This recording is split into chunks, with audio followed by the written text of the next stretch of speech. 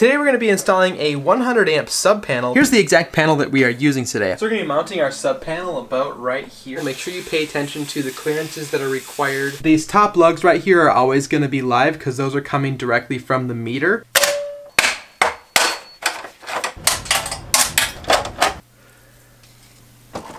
Up next, we're going to be installing the ground bars. So I will be lining this up with these two holes on this side and then the same thing on this side over here.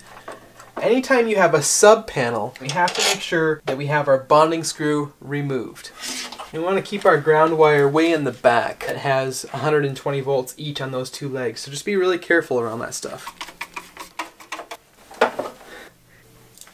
And right here is our 100 amp breaker. Nice and tight. There it is.